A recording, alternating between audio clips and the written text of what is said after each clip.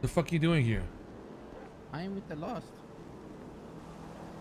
They sent me down. KJ tell he said tell everybody. Who the fuck are you? Benji's Douglas. What the fuck are you here, Douglas? Because the lost sent me down here to put that away. Come here, Douglas. The law. Uh, you want me to come down? Okay. Yeah.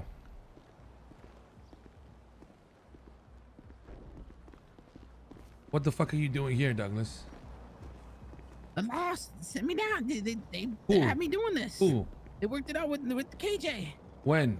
The R- R- Rudy, all them. Like I don't know, a couple days ago. KJ said he told everybody in, in, in you know in the you know your crew, and that if anybody comes up, just say you know just you know whatever, let them know that you know it's Douglas. I'm with the Lost. You know. Put your hands up, man. All right.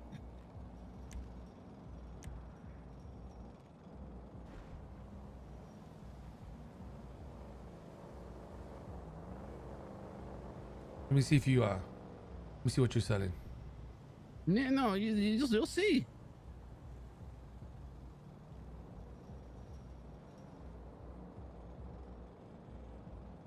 Okay.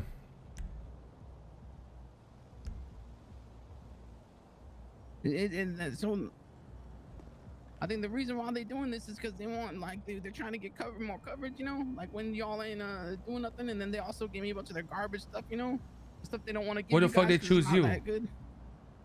They trust me. I don't know. It's like, I'm good with them, you know. You sure about that? I thought you snitched the cops and shit, man.